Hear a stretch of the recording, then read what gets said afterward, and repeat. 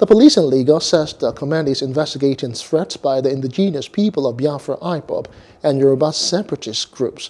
Commissioner of Police Hakeem Odumosu has vowed that no breakdown of law and order or attacks on soft targets will be tolerated. He spoke at the Stakeholders Forum on Security, which Governor Babajide Sanwo-Olu presided over. The CP said the command was aware of agitation for the Oodua Republic by some Yoruba secessionists and the threat to disrupt law and order in the state. The police chief disclosed that 24 persons belonging to the groups have been identified and are being closely monitored. Hello. Hope you enjoyed the news. Please do subscribe to our YouTube channel and don't forget to hit the notification button so you get notified about fresh news updates.